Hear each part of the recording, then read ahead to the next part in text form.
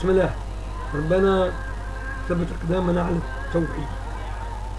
وجعلنا دائما خير أمة أخرجت للناس نأمر المعروف حقا لا كما هو الحال الآن.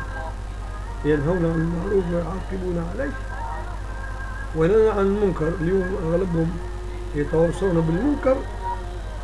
ويؤجرون من أتى المنكر.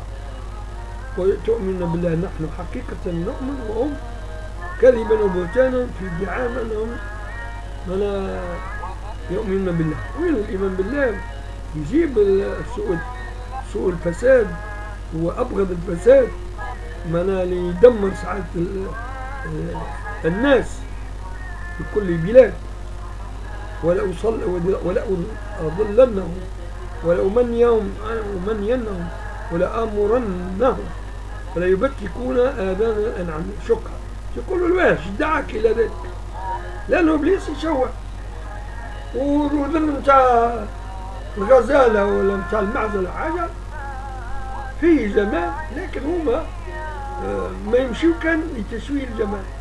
باش يخرج الجمال من حياة الحياة الأكوان.